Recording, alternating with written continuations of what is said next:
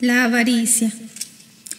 Otro punto muy doloroso para mi corazón, que todo es bondad y caridad, es el de la avaricia en mis sacerdotes.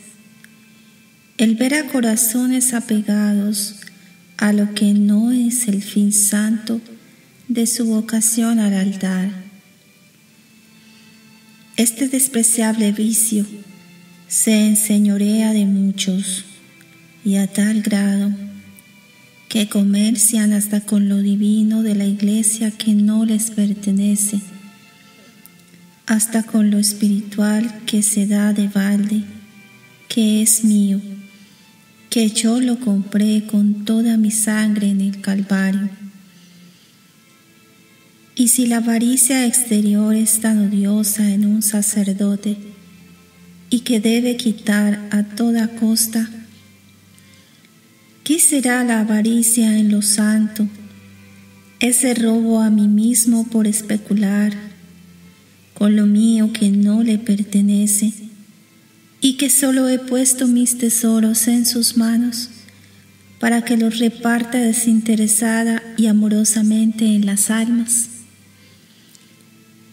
Este horrible vicio va directamente contra el ser de Dios mismo, de la Trinidad Beatísima del Padre que dio nada menos que a su Hijo Divino, que lo regaló al hombre en mil formas para su servicio, para su imitación, para su consuelo, para su salvación eterna.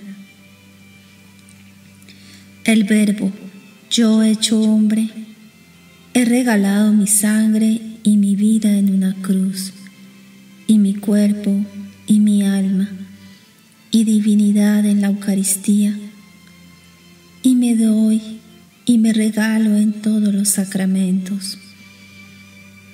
Y el Espíritu Santo se da también a todas las almas por la gracia santificante. Se derrama a torrentes en favores y carismas, en dones y frutos, y se convierte él mismo en don. Entonces, ¿por qué mis sacerdotes no imitan a Dios? No imitan la munificencia de mi iglesia que es toda para todos, que abre su seno maternal, sus arcas, sus tesoros inmortales, sus sacramentos, y que me regala hasta a mí mismo para quien me quiera tomar en la Eucaristía de día y de noche y siempre está dando esta iglesia amada su leche, su comida, su vida, sus celestiales tesoros. Ella da siempre, aunque no reciba. Ella regala cuanto tiene, hasta un cielo, y no quiere tener en su seno ni a su servicio almas egoístas almas tacañas que se cuidan mucho de dar y menos de darse como debieran en su sagrado ministerio a las almas.